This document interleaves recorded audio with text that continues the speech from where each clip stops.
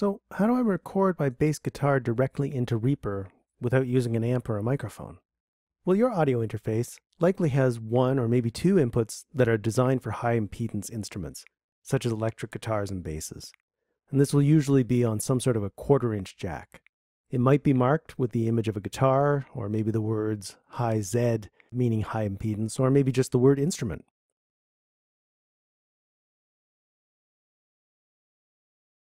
On my audio interface, input number two is for high impedance instruments, and it's marked with a guitar. So what do we need to do? Well, we should know the drill by now. We need to create a track. So we either control T or command T or double click as I like to do. And the next thing is name that track. And this is going to be bass. So I'll call it bass. And after that, I need to tell Reaper where to get the sound from. So in this case, it's defaulting to analog one, but I'm going to go in here and tell it analog two because I know that input number two is where my bass is plugged in. So that's great. Let's check levels. So I'm going to hit the record arm button just so that we can see the bass input coming in. I'm actually going to turn up the volume on the bass guitar itself, play a little bit. See right there. There we go. I'm peaking. So I've got to turn that down uh, a little bit. Let me clear that. Let's try this. Okay, that's better. Always aiming for that minus 6 to minus 10. Minus 10 is a little lower, but it's absolutely fine. And that's a good level. That gives me a lot of room in case I do play hard. Next thing on the list is creating a headphone mix or a monitor mix. I'll be using direct monitoring with my audio interface, and for that I use Total Mix, which is the software that controls the internal mixer in my interface. And that's what controls the level I hear back of the instruments I'm recording versus what's being played back from Reaper.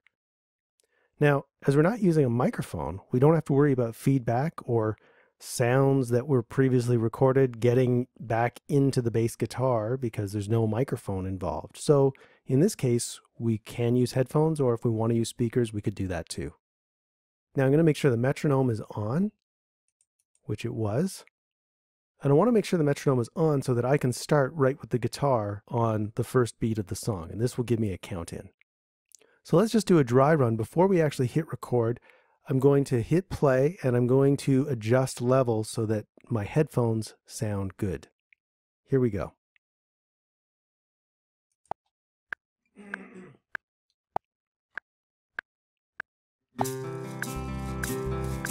Okay, I need to turn the bass up. And it's in input number two right here.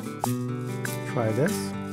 Hang your head, it's a shame you found again. It's okay, I actually want it louder than that. Always stay, don't stay the same. Maybe even louder. That's better. There we go. Okay, so now I'm happy with my headphone mix, so I'm ready to record. Now, if you're doing this at home and you couldn't hear the bass while the track was playing, try a few of these things. Either turn down the instruments in Reaper, turn up the bass in your monitoring software, or if you have a playback input balance control, turn it more towards the input side. The big thing again is do not adjust that input gain because we just spent some time getting it right. We know we have a good recording level.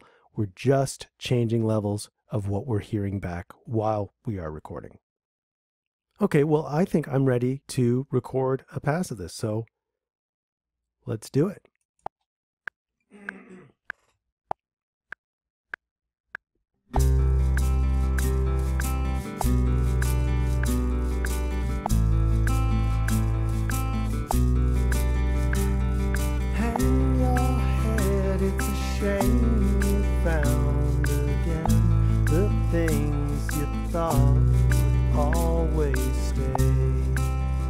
Don't stay the same. Come